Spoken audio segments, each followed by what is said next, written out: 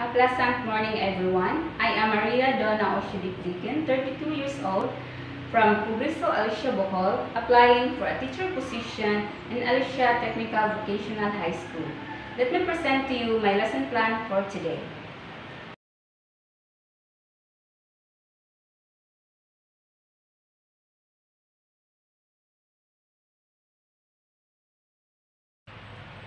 Good morning, everyone. Please stand up for our prayer.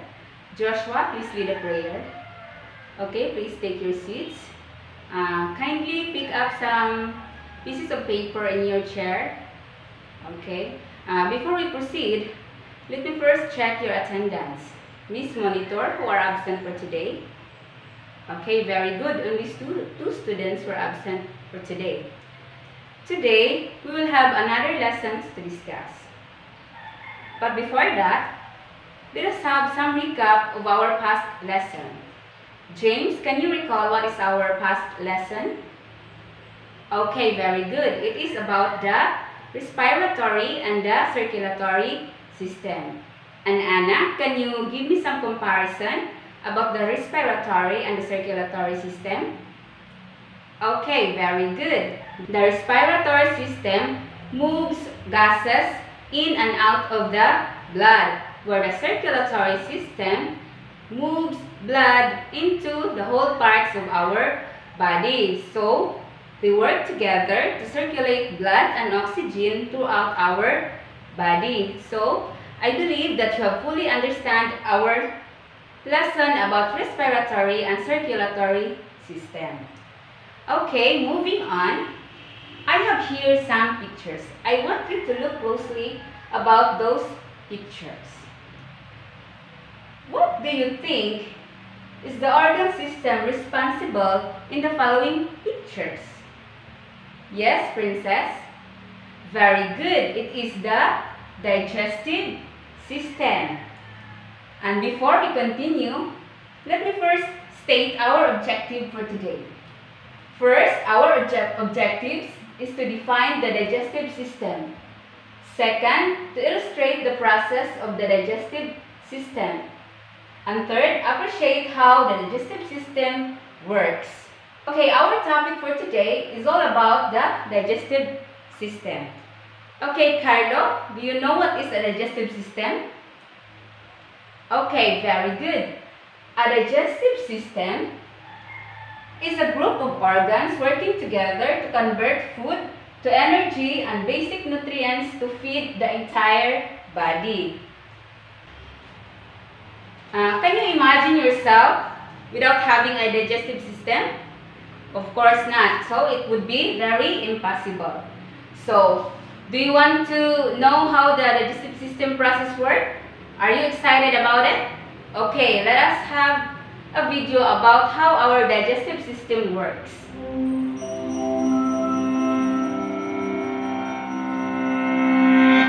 Across the whole planet, humans eat on average between 1 and 2.7 kilograms of food a day. That's over 365 kilograms a year per person, and more than 28,800 kilograms over the course of a lifetime. And every last scrap makes its way through the digestive system. Comprised of 10 organs, covering 9 meters, and containing over 20 specialized cell types, this is one of the most diverse and complicated systems in the human body. Its parts continuously work in unison to fulfill a singular task, transforming the raw materials of your food into the nutrients and energy that keep you alive. Spanning the entire length of your torso, the digestive system has four main components.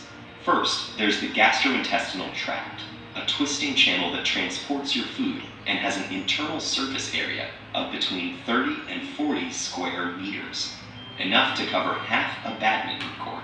Second, there's the pancreas, gallbladder, and liver, a trio of organs that break down food using an array of special juices. Third, the body's enzymes, hormones, nerves, and blood all work together to break down food, modulate the digestive process, and deliver its final products. Finally, there's the mesentery, a large stretch of tissue that supports and positions all your digestive organs in the abdomen, enabling them to do their jobs. The digestive process begins before food even hits your tongue. Anticipating a tasty morsel, glands in your mouth start to pump out saliva. We produce about 1.5 liters of this liquid each day. Once inside your mouth, chewing combines with the sloshing saliva to turn food into a moist lump called the bolus. Enzymes present in the saliva break down any starch. Then your food finds itself at the rim of a 25 centimeter long tube called the esophagus, down which it must plunge to reach the stomach. Nerves in the surrounding esophageal tissue sense the bolus's presence and trigger peristalsis, a series of defined muscular contractions. That propels the food into the stomach, where it's left at the mercy of the muscular stomach walls, which pound the bolus, breaking it into chunks. Hormones secreted by cells in the lining trigger the release of acids and enzyme rich juices from the stomach wall that start to dissolve the food and break down its proteins. These hormones also alert the pancreas, liver, and gallbladder to produce digestive juices and transfer bile, a yellowish green liquid that digests fat, in preparation for the next stage. After three hours inside the stomach, the once shapely bolus is now a frothy liquid called chyme, and it's ready to move into the small intestine. The liver sends bile to the gallbladder, which secretes it into the first portion of the small intestine, called the duodenum. Here, it dissolves the fats floating in the slurry of chyme so they can be easily digested by the pancreatic and intestinal juices that have leached onto the scene. These enzyme rich juices break the fat molecules down into fatty acids and glycerol for easier absorption into the body. The enzymes also carry out the final deconstruction of proteins into amino acids and carbohydrates into glucose. This happens in the small intestine's lower regions, the jejunum and ileum, which are coated in millions of tiny projections called villi. These create a huge surface area to maximize molecule absorption and transference into the bloodstream. The blood takes them on the final leg of their journey to feed the body's organs and tissues. But it's not over quite yet.